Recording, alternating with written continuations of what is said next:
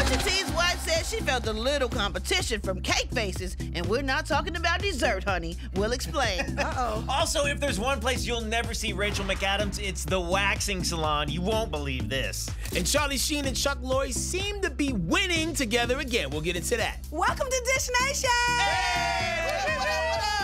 All right, my sister Brat, tut, tut, tut. what's going on today? Y'all, Tamar is back in the studio, Mm-hmm. and y'all know what that means. What that mean? She been outside cutting up. Oh, so here's what happened, okay? Tay Tay done hopped on Black Twitter and tweeted. Uh-oh. Gary, do the honors, please. Why I ain't telling me the people in Atlanta, honey, wear fake clothes? Hmm. I'm gonna go home. Well, Deleesa Unique from Netflix is The Circle hopped in the comments and said something about Tamar's fakeness and said people should be able to wear fake brands if they want to, and asked our girl why she was so concerned. Then Tay Tay, of course, clapped back and said, Tanner, please do the honors. Golly, I can't. Do. Why? Why is it? What? What she said? All right, here we go. Your man is fake straight, but why we both guessing with a red flag emoji? You big mad at life? Oh. Here we go. Get this man an oxtail. And then Deleesa called our girl corny, and Tamar, and Tamar was like, no, boo. She said, you corny, try again. And I said, no, boo, you try again. Oh. Well, that's what happened.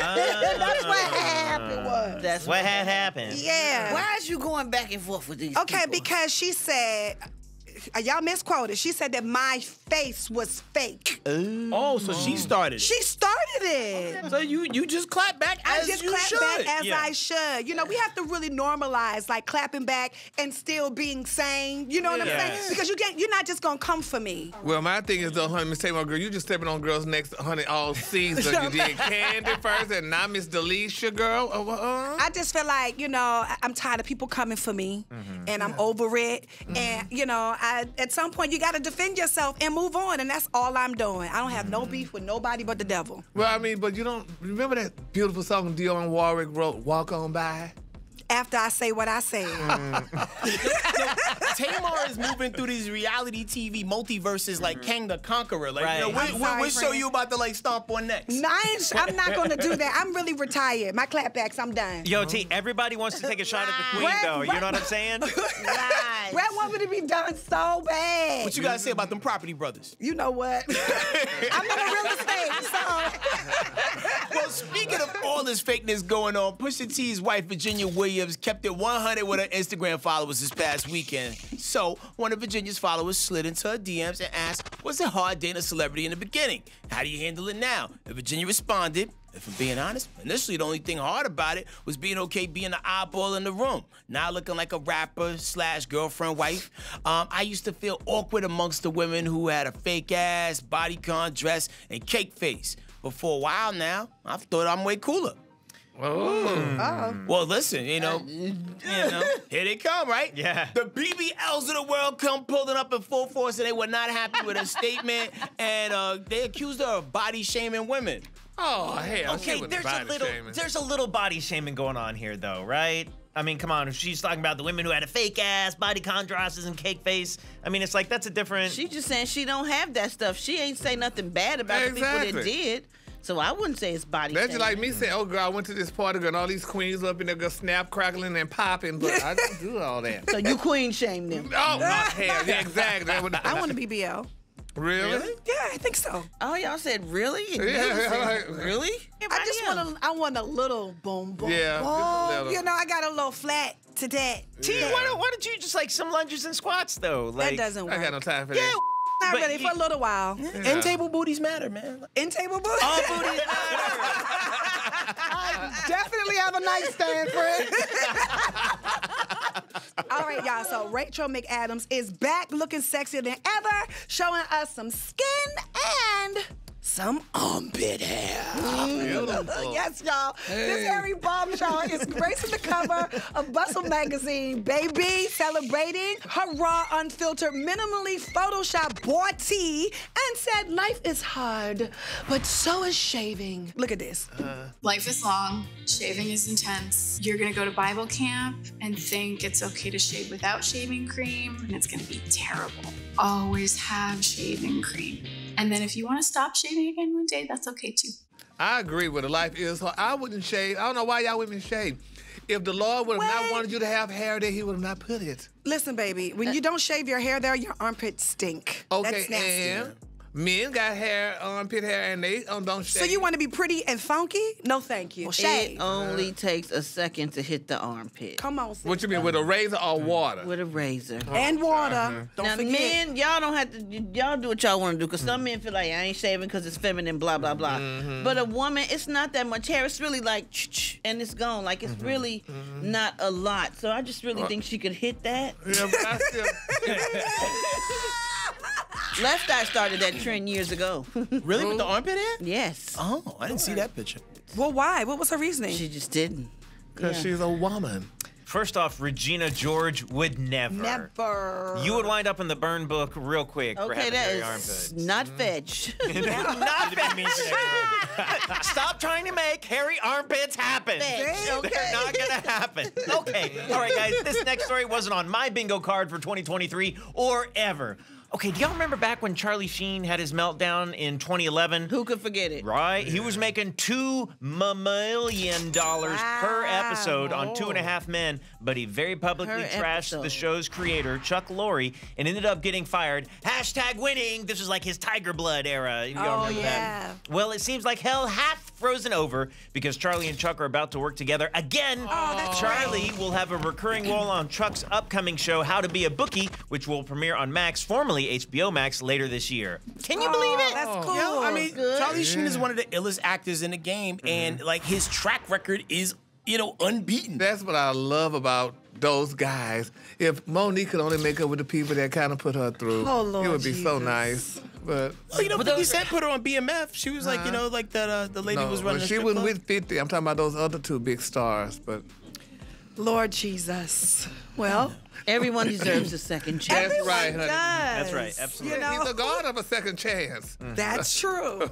Hallelujah. Mm-hmm, mm-hmm, uh, well, another group of stars are getting together for upcoming project, but they never had beef. Well, at least not that we know of. You know what I mean? So let's talk about Halle Berry and Angelina Jolie. They're both gonna star and produce an upcoming action thriller called Maude versus Maude. Hmm. Now, the project is the first time that they are in the same movie, so it's pretty hot. Now, we don't know much about it yet, but the movie's being described as a Bond versus Bourne type of global action thriller. So think salt, meat, pepper. Mm-hmm.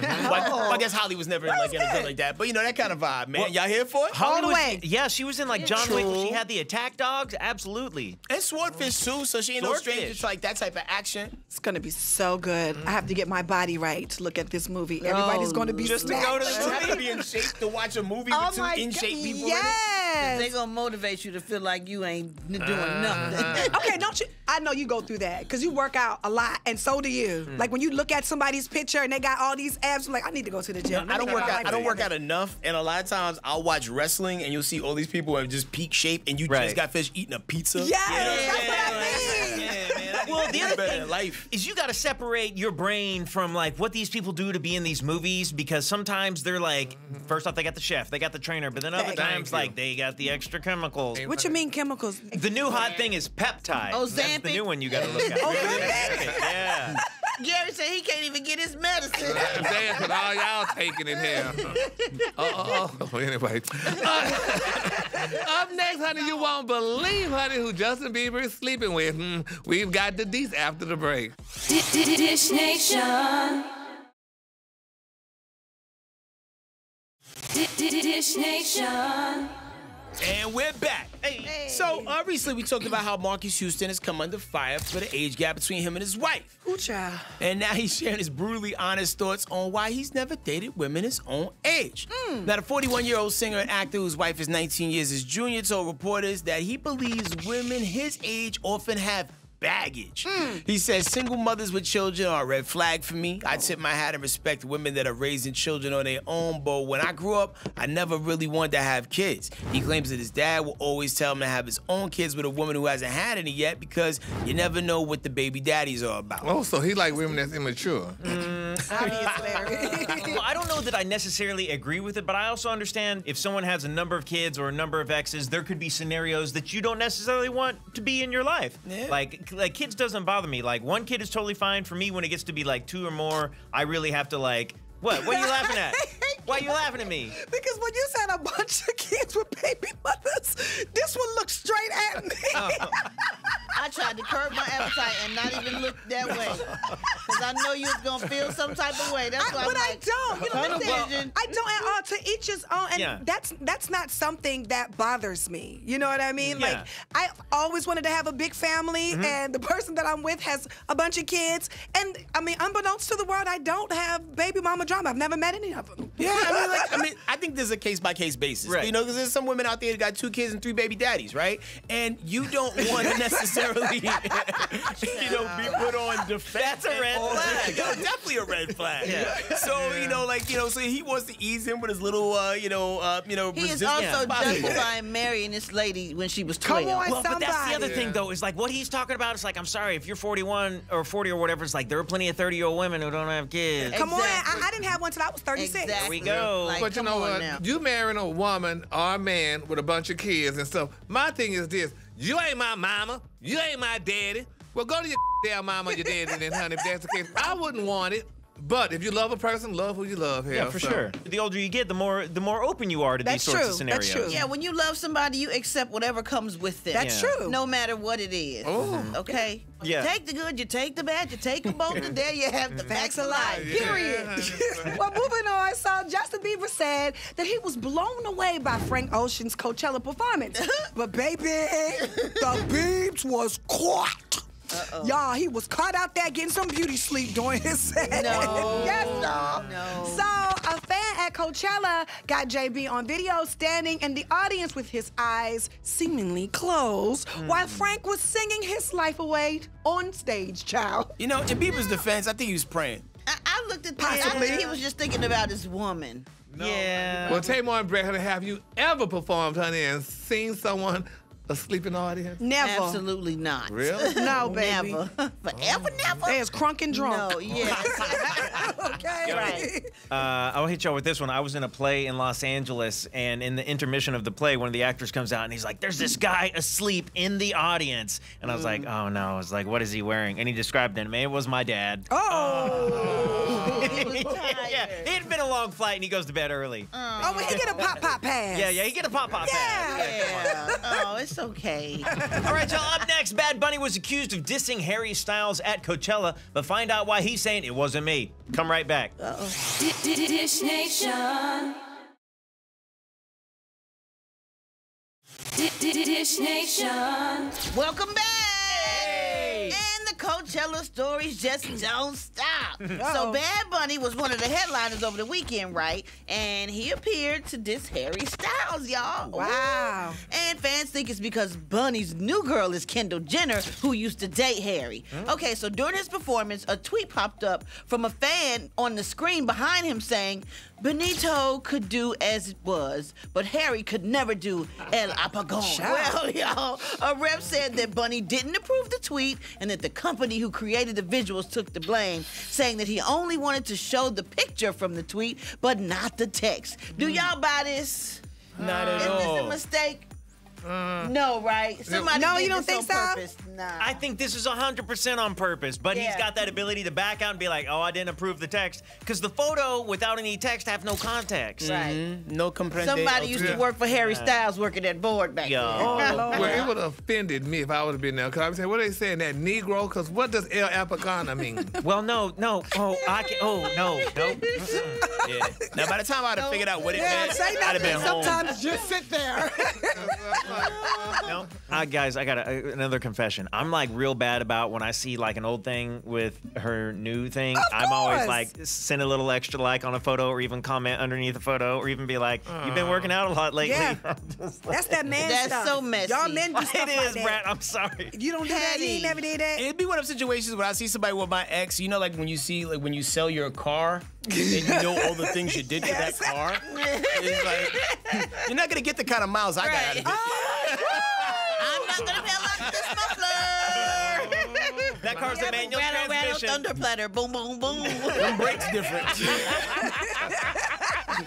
Okay, are y'all ready? It is time for uh Okay, so check this out. Toronto Blue Jays pitcher Anthony Bass tweeted about some drama his wife Sydney faced on a recent flight. He said, the flight attendant on United just made my 22 week pregnant wife, traveling with a five year old and a two year old, get on her hands and knees to pick up the popcorn mess by my youngest daughter. Are you kidding me? Wow. And Sydney's sister, country singer Jessie James Decker, chimed in and said, My poor sister is on her hands and knees, crying in the aisle, completely humiliated and exhausted with her children while everyone else watched. Way to go, United.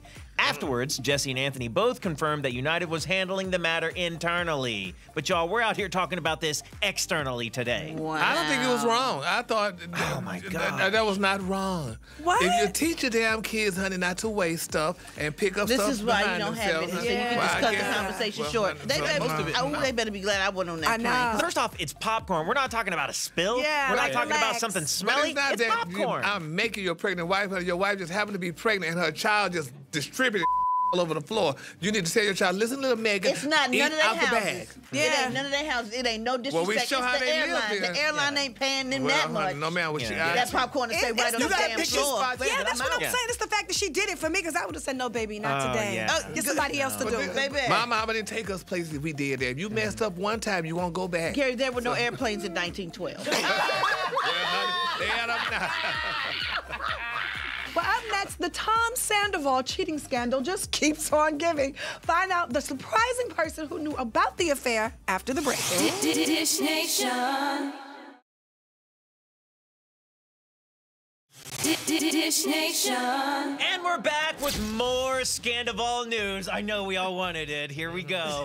Reportedly, Tom Sandoval's mother knew all about her son's affair with Raquel Leviss. Hmm. Word is, Tom brought Raquel to his hometown of St. Louis just weeks after her initial visit. They were at a bar with his friends when the place abruptly had to close due to an ice storm, and they decided to take shelter at Tom's mom's house, hmm. which made it the first time Raquel had ever met her. Hmm. Sources say mom wasn't cool with their situationship, uh, but was cordial during the quick exchange. Situationship, ain't that the word? Yeah, that is the word for this one. I mean, you know, mom and family always gonna have to be gang gang. You know what Yeah, I mean? Like, you know, sure. like even if you feel like what your son is doing wrong, you know what I'm saying? Don't blow the spot up on site and just talk to him about it later. So I mean, I think she played it cool. I think so too. Really? I know she had an attitude though. Oh I yeah. was like, "Hi, Probably didn't give what her you the want best to towel. eat?" Right.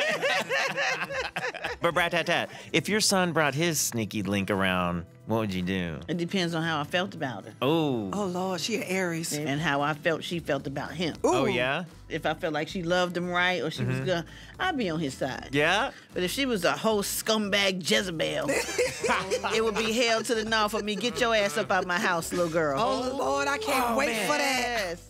Brat is gonna be the intimidating Oh, mom, don't Brat you know? is going to be a mama. I'm thinking like Will Smith's character in the second Bad Boys movie when that, that boy went over there to the house. Yeah. That's gonna be Brat. Absolutely, with my gun.